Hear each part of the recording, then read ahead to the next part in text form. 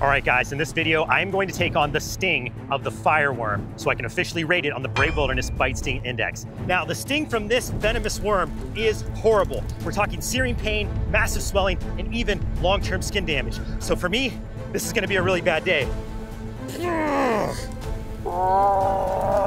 But before I can go through this test, I first have to catch one. And the only way to do that is to get out in the water. Parts of this video are sponsored by My Singing Monsters. We're diving today just off a public beach near Miami, Florida.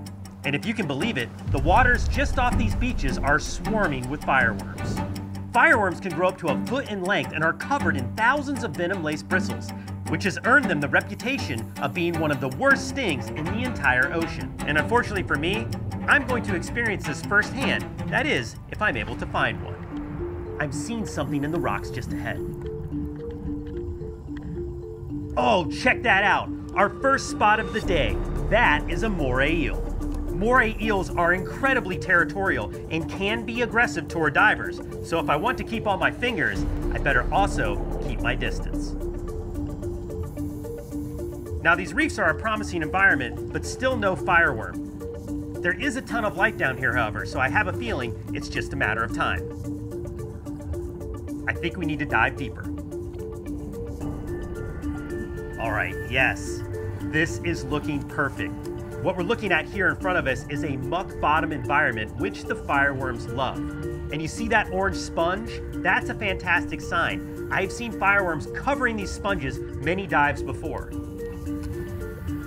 Okay, I'm seeing something wormy just up ahead. Oh yeah, there it is. The first fireworm of the day, and a decent sized one too. Whoa, did you see that? The fireworm is flaring out its spines in self-defense, which is gonna make them even more tricky to catch.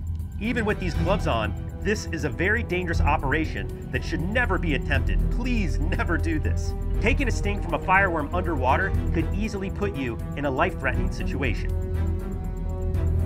We have a bit more time left in our tank. Let's see if we can find a few more.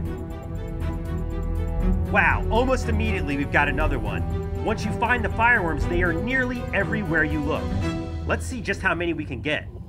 Now, for anyone wondering, rest assured we will be returning all of these fireworms right back where I found them at the end of this video.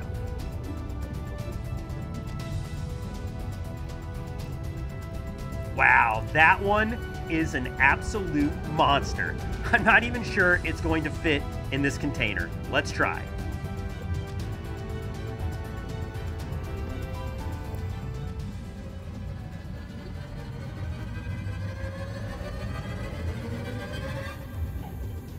All right, well, I think we found today's co-star. It's time to take our worms to the surface and for me to face the flame of the fireworm. Since it's important that I return the worms back to the water as quickly as possible, there was no time to waste. So I ditched my scuba gear and got right to setting up for the sting test. The sting table is set. I'm gonna get out a few things that we're gonna be using for today's experiment with the fireworm. I've got a Petri dish, we're gonna place them in, some clear Gorilla Tape. You might be asking, Mark, what are you gonna do with that? You'll see in just a few minutes. I've got some white vinegar. Gonna need that for the afterburn. And then of course, this is for me, just a little hydration out here on the beach. I never leave home without my Summit Adventure Fuel. Now I'm gonna keep the rest of the worms covered. We don't need all the worms we found. Of course, we found a lot of worms. There were hundreds of fireworms at this site. The last one that we found, I even had a hard time fitting it inside the jar that I took with me. So I think that's the one we're gonna use for the experiment because I am curious, does size matter when it comes to the sting of a fireworm? I think today we'll find out. Let's get some seawater in our Petri dish. Nice, clean, and cold. Now time to get out the fireworm. Whoa. Oh yeah. All right, here's second worm going in. Get some of these spines out of there. Check that out. You know what, Mark? That looks just like a Fleechwurm. Fleech worm?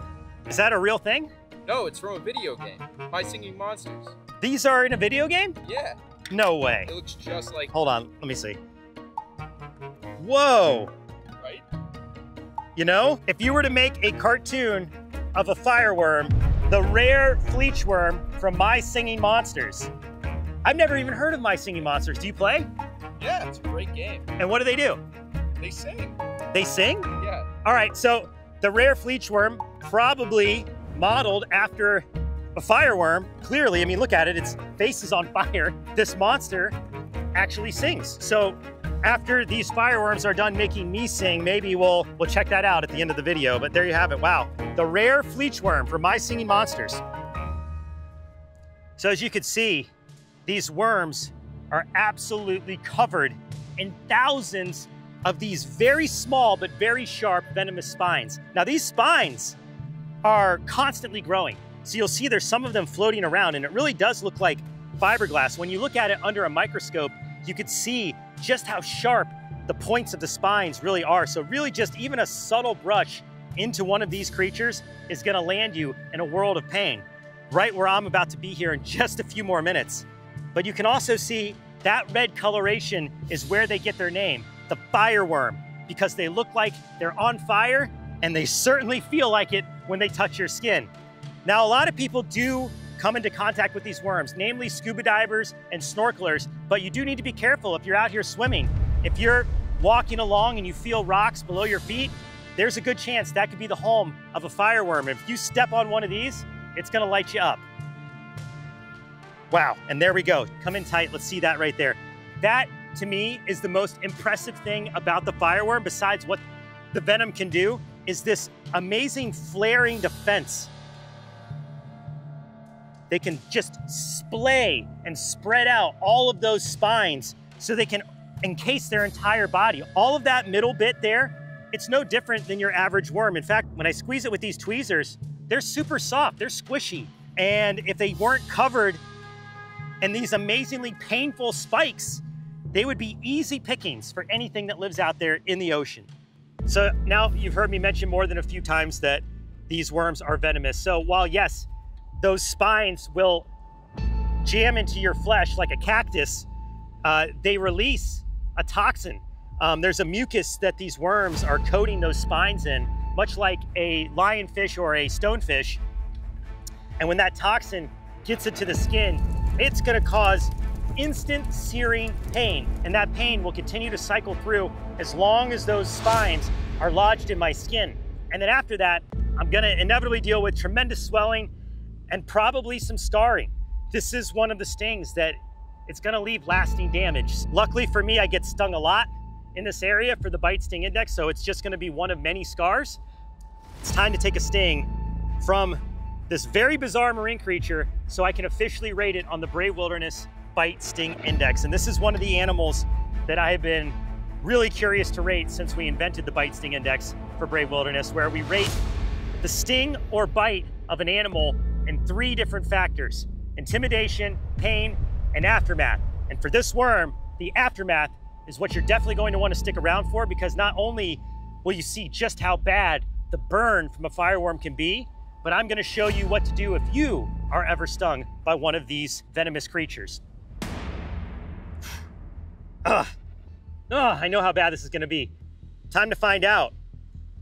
What does the burn of the fireworm do to human flesh? On three, ready? One, two, three.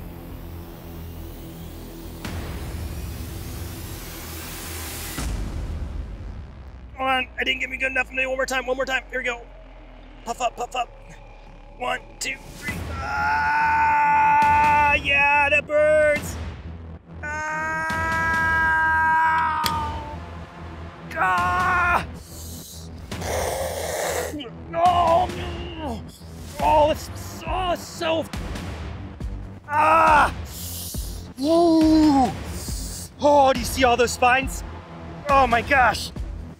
Ah! Oh, you can already see it's turning red. Oh, I got stung really bad. That's so many spines. Hundreds. I got stung by hundreds.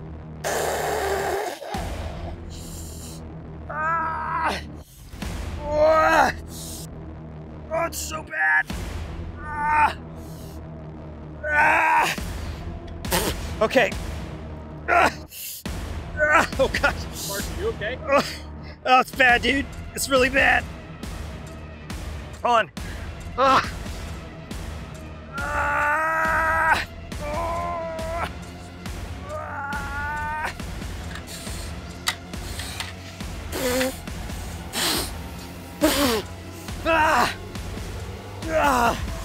Oh my gosh, it's so much worse the first time. I've been stung by these before, but never one that big. I have so many spines in my arm right now. Oh my goodness. Oh, this is gonna be my worst sting ever. This is gonna be my worst sting. Ah! Ah! I gotta let it dry. Because once it dries, I can use this tape to remove the spines. Anything that's like super adhesive. If you don't have duct tape, find something sticky. Just like get that stuff out of there. You need to get those spines out of your skin because right now I can just feel the venom just, rah, just like lava flowing over top of itself. It's just as bad as a bullet ant. It's just as bad as a bullet ant. It, it could be worse.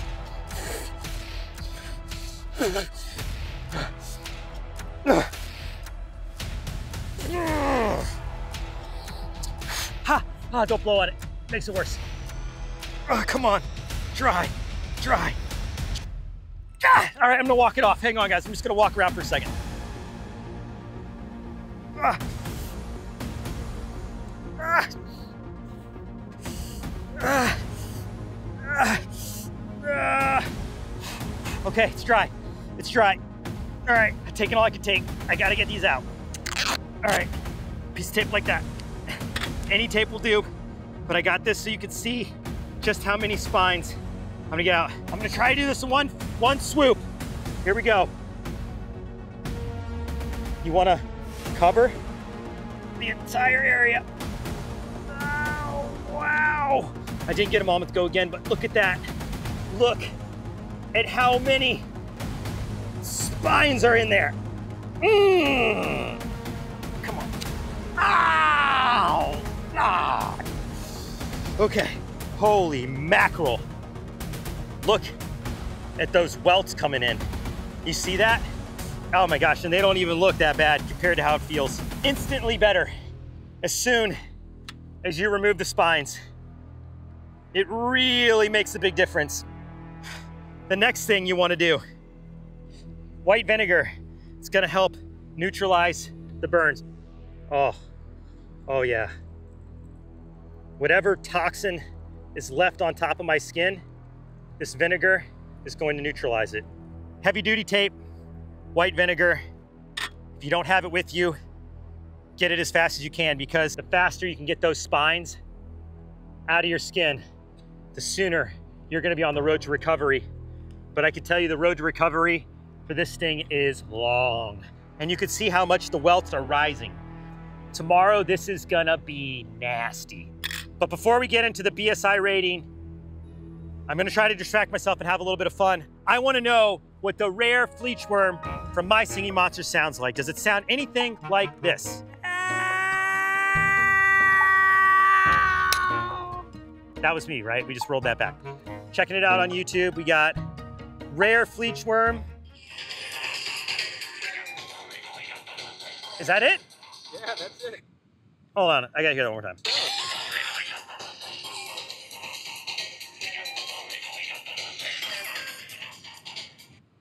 Yeah, all right. Uh, doesn't sound like what I expected to sound like. I expected to sound like how I sounded when I got burned by the fireworm. Maybe, uh, Asa, maybe we should send my audio track to the folks at My Singing Monsters and they can. All right, anyway, now comes the, the hard part the healing process, the aftermath. And uh, the pain score, gonna be high. Intimidation, I'm gonna have to think about that.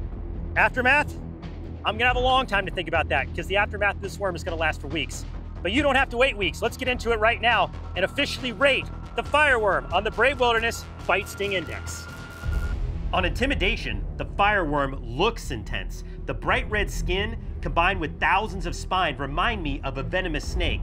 Plus, having taken a sting before, I know just how easily those spines can get stuck in your skin. And when you see a big one underwater, they are majorly intimidating. So for that, I give it a 7.8 out of 10. For pain, once those spines dug in and started to dose me with venom, the burn was intense. The feeling was similar to being burned and electrocuted over and over again.